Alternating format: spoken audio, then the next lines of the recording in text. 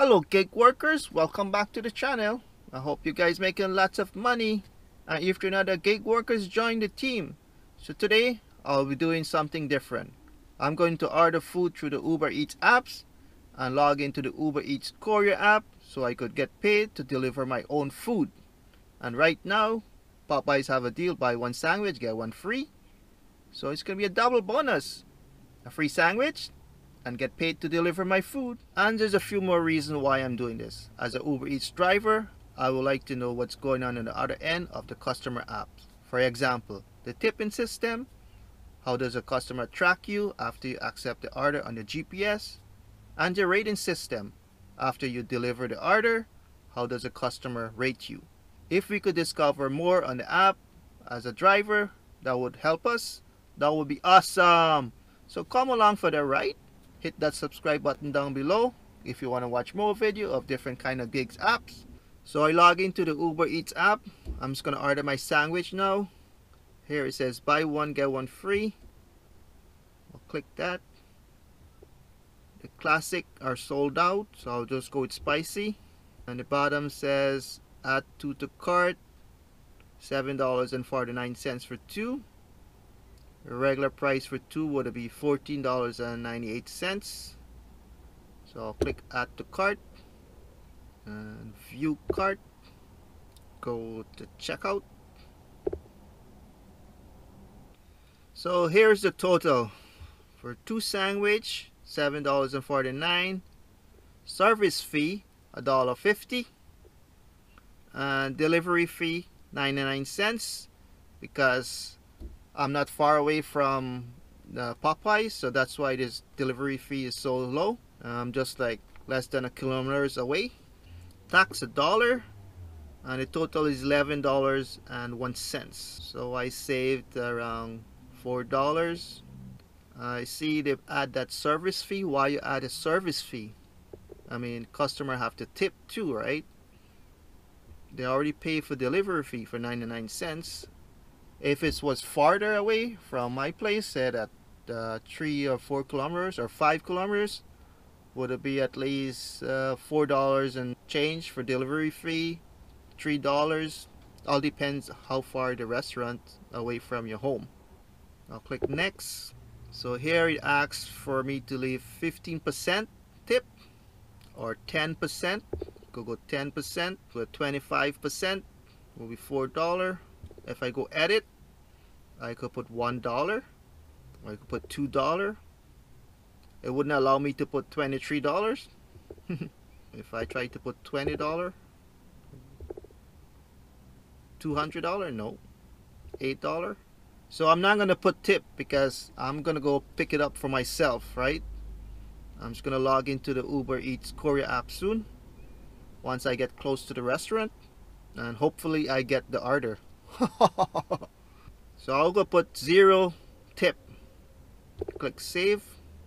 I'm just gonna drive over to the restaurant before I place the order. So I'm just gonna place this order now and then I'll log into my Uber Eats Courier app. So place order.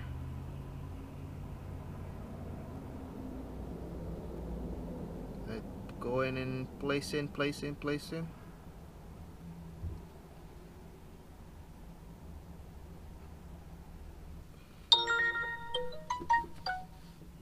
so I log into my Uber Eats Courier app now. As here it says preparing your order. Estimate time 105 and the latest arrival is 120 and the time is now 12:45 so they're saying around 20 minutes. So let's see if I'm gonna get it through my the courier app. The driver one. It's looking for order here. Finding trips I mean?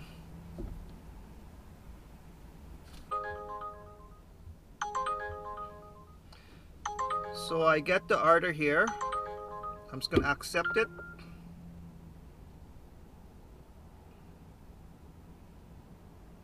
I hope that's mine. It shows like really close anyway yeah that's mine So I placed the order around 12.45. That was fast. The time is 12.52. So once you accept the order, the customer could see you right away where you are. So if you're five minutes away from the restaurant, driving to the restaurant, they could see exactly if you're going to the restaurant, or you're going home, or you're going somewhere else to drop off another order. So this is Uber Eats.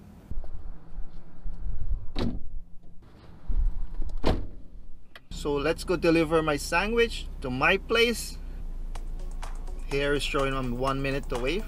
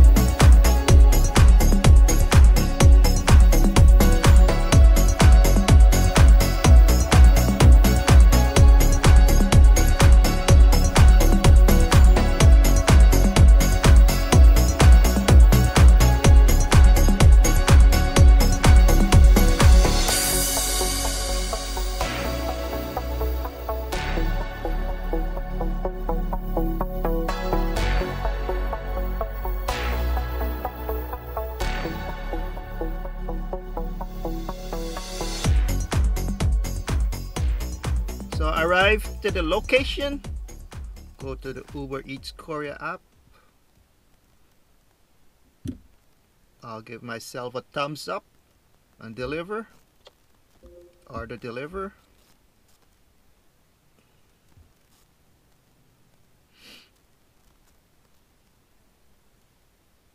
So after I deliver the food, um, Uber Eats brought up a tipping screen again so the first when you place the order there's a tipping screen you could do that.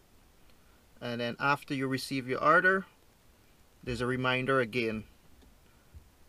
And this is the rating system for the driver. I'll give a thumbs up. And then under the thumbs up uh, what comes up friendly service great communication perfect handoff quick and efficient delivery with care. So I'll give myself all those stars for all those and I'll click submit and it says enjoy your order. Thanks for using Uber Eats. Let us know how it went. That's it. I have my two chicken sandwich.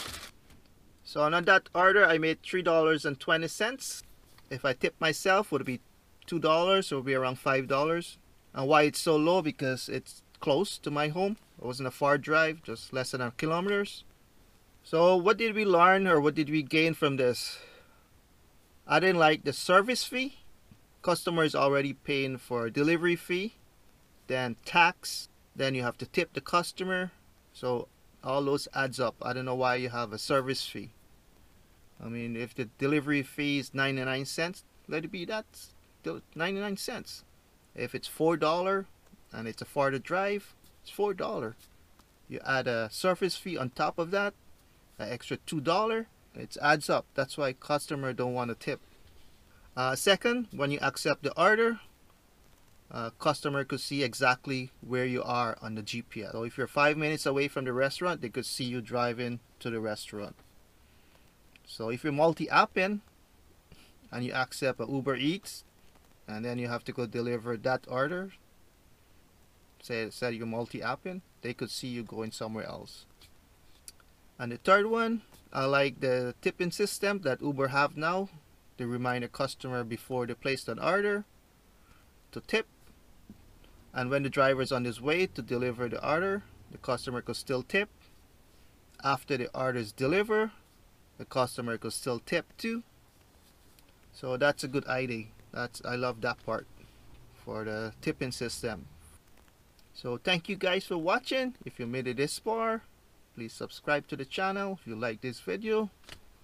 And stay healthy stay wealthy. Peace out